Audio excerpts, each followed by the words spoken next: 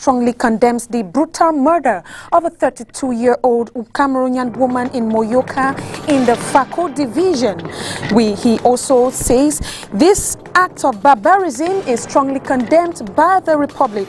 We shall bring to you an official statement from the Minister of Communications, Emmanuel Rene Sadi, on this barbaric act which has sent shockwaves down the spine of many Cameroonians. More and more attacks continue to be meted on the population in the southwest region as the manager of CDC's residence was attacked early this morning and his bodyguard kidnapped. In sport, activities are set for a new sports season to begin on the 26th of September 2020 as the country will also be fine-tuning tactics to prepare for AFCON 2021.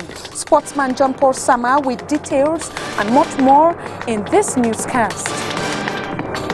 Good evening, ladies and gentlemen. Thanks for joining the 6 p.m. newscast on Spectrum Television. I am Josephine Bindzi. As announced in the headlines, the government of the Republic has taken cognizance in astonishment and indignation of the upsurge of acts of barbarity and horror perpetrated in recent days by secessionist terrorist armed groups which continue to sow terror amongst the population in the northwest and in the southwest region.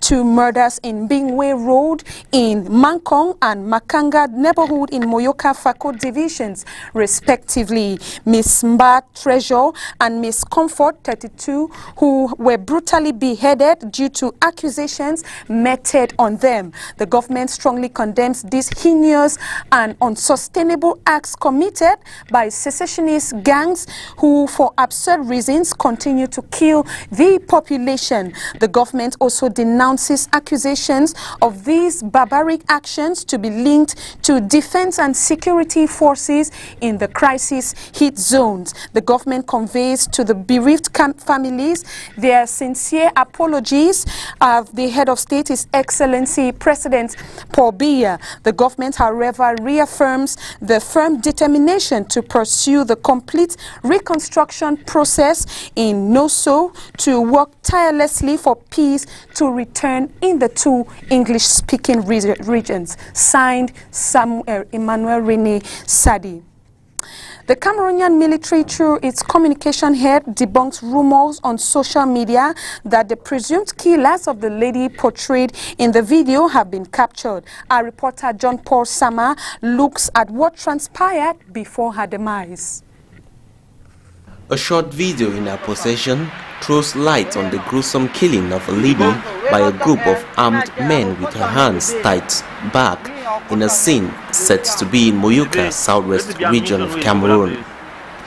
The woman in question was tagged to be a blackleg as she was accused of having paid several visits to the camp of the military personnel stationed there.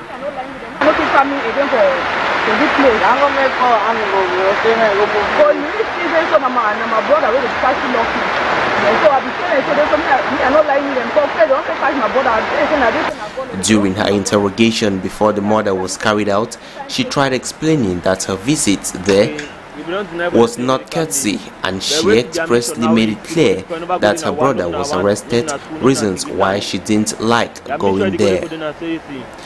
Despite her explanations, the group of men had already made it clear from the onset that she would be decapitated.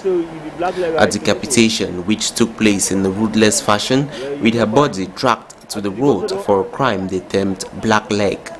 This latest scene just adds to the many lives which have been lost as a result of the crisis in the northwest and southwest regions with some still fresh in the minds of most. And we still remain in the southwest region where a series of unrest and attacks have been characterized have characterized the northwest and southwest regions of the country. Some unidentified men have last night stormed the house of the Cameroon Development Corporation CDC project manager's house in Pendamboko. His bodyguard is said to have been kidnapped and his son sitting for the ordinary level examinations is believed to have been shot while his house was set ablaze. All private and CDC property has been reduced to ashes in these recent attacks. We move over to Konye subdivision where revitalizing youths of the Konye municipality through a community industrialization foundation institute of vocational training has been the main objective of the mayor of Konye Municipal Council on the 11th of August 2020. Konye is one of the areas that has been badly affected by the ongoing socio-political crisis that have stormed the southwest region. Crystal Asexwele has details in this newscast. Revitalizing the youth of the once vibrant Konye municipality, one of the places in the southwest region greatly hit by the ongoing socio-political crisis in the northwest and southwest regions of Cameroon, is the main goal of the mayor's initiative of creating a community industrialization foundation institute of vocational training in Konye. What motivated me first of all is my volition I work with the community. I'm a community worker. And I've seen the plight of the common man. I've seen what the, the, damages this crisis has brought into our communities. The youth have to be empowered. The underprivileged have to be empowered. The rural masses are supposed to be empowered. That is why we thought that we should come up with this initiative so that as a philanthropic career-oriented welfare foundation, we could put our own quota in the development of our community. Launched Tuesday, August 11, 2020 in Kumba, the presence of the chiefs and elites of Konye municipality and beyond, the stakeholders took time to brainstorm on ways and means to make this laudable initiative work out successfully. The question about the newly introduced project that's been introduced by uh, Barrister uh, George uh, Lobe it's a wonderful project. It's a wonderful project.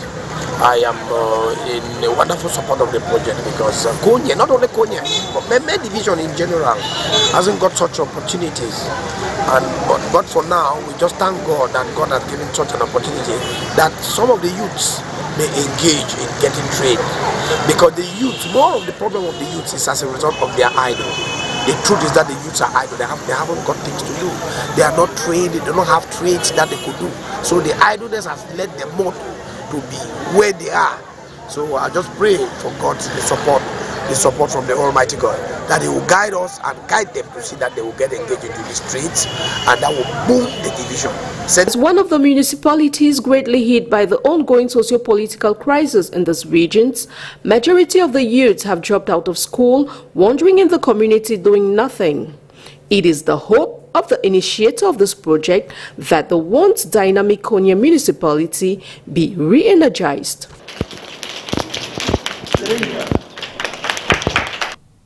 And we still talk crime waves. Right now, we move to the littoral region where Jumum, Dodai, Amadu, Buba, Muhammad, and Sadu alias Bello are suspects of a gang who have been perpetrators of high-level crimes for the past few months. The operation began in Maroua in the month of in the month of July, and they furthered the activities in the Adamawa region. Their latest victim, Zoye Matemu Pascal, was gunned down in his residence. They pushed security officials in the Adamawa and Littoral region to further investigations at Katie Yambom Japoma Douala. The hunt successfully claimed a bag of ammunition where four charges and 618 munitions of caliber 5.56 times 45 millimeters and other dangerous weapons were seized. The Legion commander Pierre Aimé Bikele reassures the population that they will do all in their power to keep residents in the littoral region safe. It is exactly a week since authorities in the littoral region, headed by the governor of the littoral region, uh, Samuel Dieudonné Ivaha Diboua, have carried out a demolition exercise at Total Kombong in the Douala 3 municipality. Victims of demolition are, however, still trying to gather the broken pieces of their lives, as Oni Ladonet tells us in the following report. Inhabitants of the Total Kolbong neighborhoods in the Douala 3 municipality are yet to recover from the shock caused by the demolition of their properties on Thursday, the 6th of August, by the Douala City Council. Uh, well, we were surprised by the sudden operation initiated by the governor of the region without any consultation. As far as we're concerned, these acts perpetrated would only be identified with political and mafia-oriented groups with the intention of saving their land and pushing weak peoples against the regime in place. It should be precise that this land was legally obtained. Regardless of the abrupt demolition, no compensation has been given or promised. Uh, uh, we, we, we, didn't meet with uh, the authorities in place. We have never met, so there is no consultation, no relation with them. The victims are calling on the government to take proper measures in solving this problem because these lands are rightfully owned by them. As such, we are asked for joint inquiry between the civil society, the parliament and administration. The exercise has been carried out by the governor of Littoral, Samuel Dieudonné Ivaha Diboua, alongside the Douala City Council with aim to expand the road. And now we take you to the Douala 2 municipality and we open our cholera series. The New Bell locality in the Douala 2 municipalities is one of the most affected neighborhoods in the littoral region with the cholera waterborne disease. Inhabitants are very much aware of this disease and are working towards fighting its spread in their communities. We remain with you on Iladonet. With the New Bell locality in the Douala 2 municipality being one of the epicenters of the cholera epidemic, inhabitants of this neighborhood have adopted different hygienic rules so as to help fight against this disease. Bon, pour lutter contre choléra ici à New Bell, in order to fight against cholera, before eating we wash our hands. Even the drainage systems are being cleaned here at New Bell. Since these drainages have been cleaned, we are fine. Les mesures de barrière contre le choléra, moi je I have a filter at home placed on the wall and the children are aware that they are to eh, wash their eh, hands after eating. They shouldn't touch the floor carelessly. Eh, on ne doit pas toucher le sol n'importe comment avec les maladies qu'il y a dehors. Bon, moi par exemple, I, for example, I don't eat along the road. I don't drink sachets of water or bottle of water that is being sold at 50 francs. I am really fragile, so if I'm to drink water, I drink mineral water. Apart from that, at home I boil my water before drinking. When I buy fruit sold in the market, I make sure to wash them thoroughly before eating. En principe, le principe de barrière, il faut être d'abord propre. In the fight against cholera, one has to be very clean. Clean their environment. Clean the house. Always be clean and always wash your hands. Vérifier les mains, laver les mains à chaque fois. Ouais, donc. Others still prefer the vaccine as it is being prescribed by government. Tellement à l'aise parce que ça protège les gens C'est le gouvernement qui a I feel free taking vaccines because it protects people. It is the government that provided it, so that's why we accepted to get vaccinated, so we can be safe from all this disease.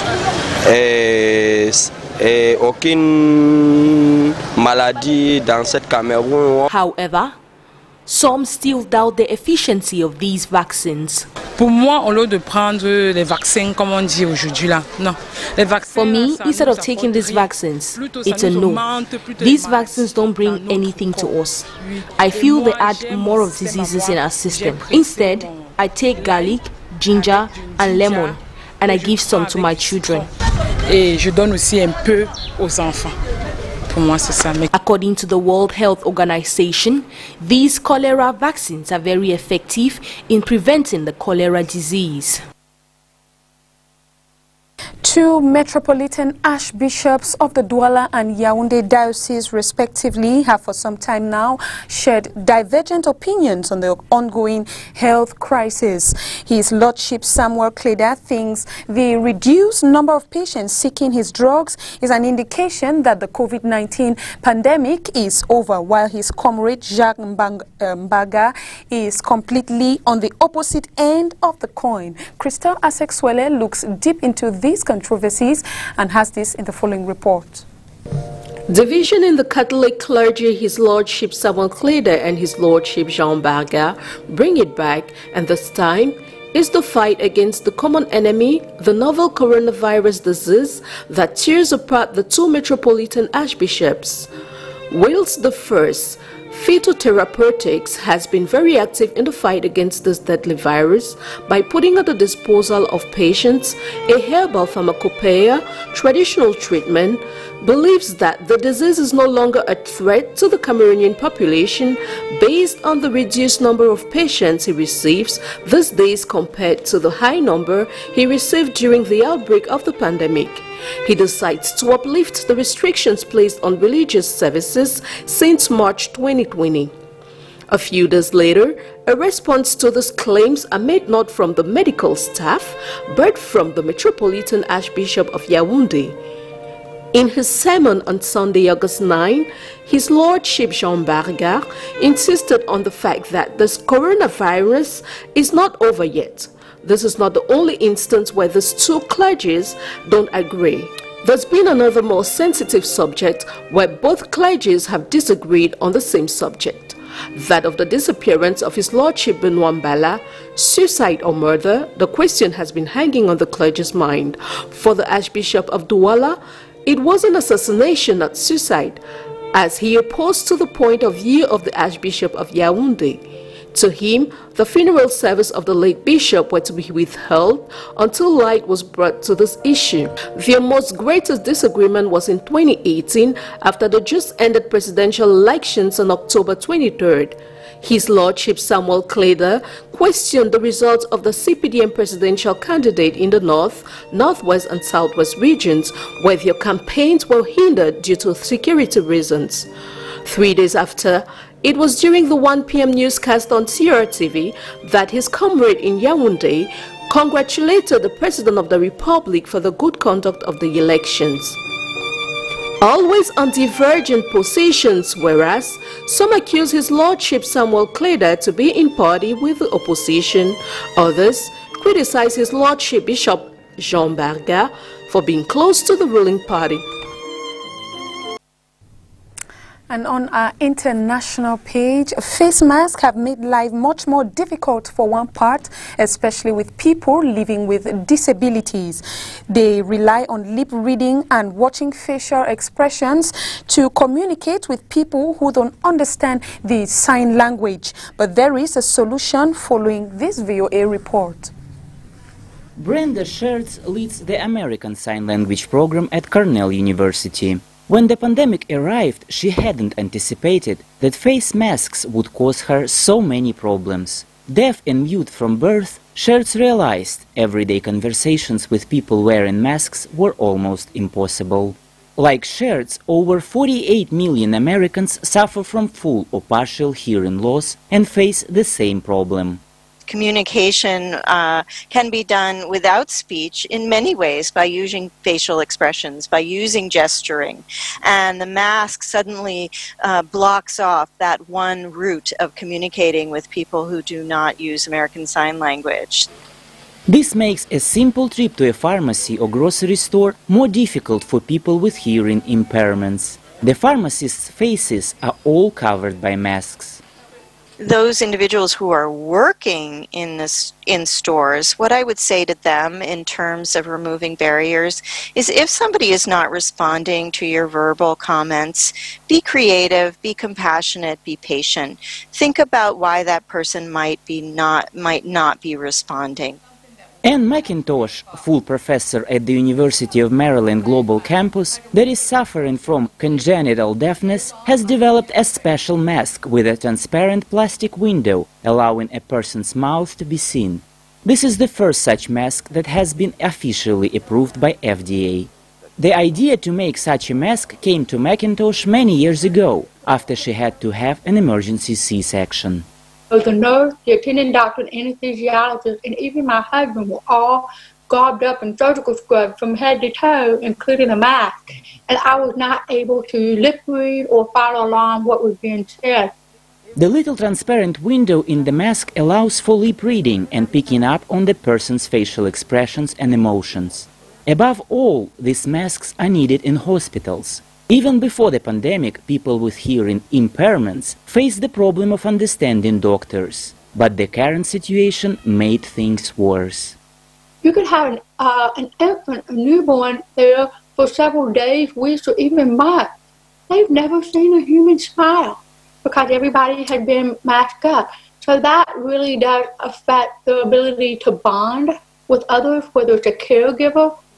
According to the data provided by the World Health Organization, about 5% of the world's population, some 466 million people, have various forms of hearing impairments and could benefit greatly from masks that allow to see people's faces. Maxim Moskalkov for VOA News, Washington.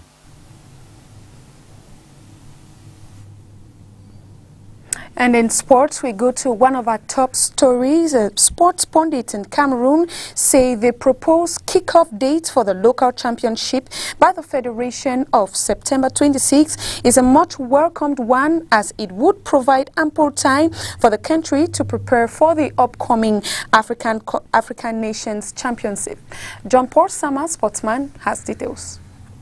Given that all goes as planned, Lovers of football in the country will once more enjoy this great game as the country's FA is set to fix the date of restart on September 26, much to the delight of football actors. Resume football in the country uh, is a welcome projection. For now, I call it a projection uh, because concrete actions need to be taken for it to get for us to get into uh, making it an action. Uh, yes, the federation is working very hard, as illustrated by the presence of the boss of the federation in yesterday's meeting with the minister. Uh, they're thinking about September 26. I think it's it's it's welcome too. Uh, I, in my humble opinion, I think we've even over delayed because of the responsibilities we have and what others have done. During a meeting this Wednesday, the Minister of Sport and Physical Education gave the green light for safe resumption as Cameroon prepares to host the upcoming African Nations Championship with the local league to serve as a byproduct for players. I mean, hosting the Chan uh, is a competition that its players are only picked from the national championships. So uh, the longer you stay without a national championship, the lesser the chance of success for the Chan team. And you talk about other nations, you realize that other nations that are even in greater difficulties, like Egypt, uh, for example, have resumed their championship and are having some crisis in the course of the uh, continuation of, uh, of COVID-19 football, but they are carrying on with it. So I think it's welcomed. We can't wait. The actors have been out of work for five months. It's the only sector that has been crippled, you know, uh, the football sector or the sports sector in general, uh, because nearly all every other sector is, uh, is is is is back to full life, except in the case of sports. Football and other sporting activities were stopped abruptly in March as a result of the coronavirus, with its return now imminent in Cameroon in the weeks ahead. Thanks for watching the 6 p.m. news. That is a report that concludes it for tonight's edition of the news. Remain with Rene Nassis Moto with more information in the French language. We will be back tomorrow. Good night.